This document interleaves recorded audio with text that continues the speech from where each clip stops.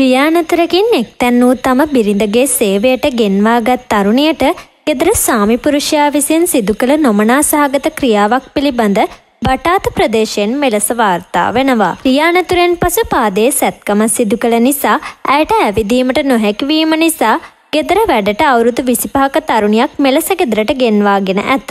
ඇය අදාළ කාන්තාවගේ දුරින් නෑදෑ වන තරුණියකි. කිහිපවතාවක්ම මෙම තරුණිය නානකාම්‍රය වෙත ගිය පසු අත්වැරැද්දක්සේ අඟවමින් නානකාම්බරය තුළට මෙම පුද්ගලයා ගොස් තිබෙනවා.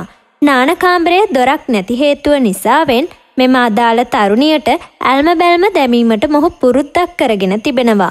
මෙම තරුණිය දිනක් නාන කාම්බරයේදී ඇඳුම් මාරු කරන විට මොහු තම ජංගම දුරකථනයෙන් එය වීඩියෝ කර තිබෙනවා.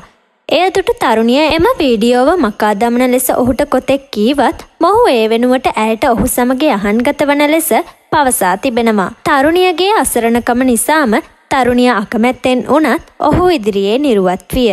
ටික්ක දිනකට පසු තරුණියට එකවරම වමනය වැනි රෝගලක්ෂණ මතුවී ඇති අතර මේ පිළිබඳ තරුණිය වෛද්‍ය පරීක්ෂණයකට යොමු වූ විට ඇය ගැප්ගෙන ඇති බවත් තහවුරු විය. අදාළ පුද්ගලයාට මෙය පැවසූ විට ඔහු ඇයගේ කීම ගණන් නොගෙන සිටිය අතර අදාළ තරුණිය මේ පිළිබඳ ඔහුගේ බිරිඳට පවසා ඇති අතර ඇයට අවශ්‍ය ප්‍රතිකාර සඳහා ඇය උදව් කර ඇත. මෙම නොමනා ක්‍රියාව සිදු කළ තම සැමියාට විරුද්ධව මෙම බිරිඳ විසින් පොලිසියේ පැමිණිල්ලක් දමා ඇත. ඉතින් යාළුවනේ දිනපතා මෙවැනි වීඩියෝ නැරඹීම සඳහා පහත බටනය ක්ලික් කර අපව සබස්ක්‍රයිබ් කරන්න.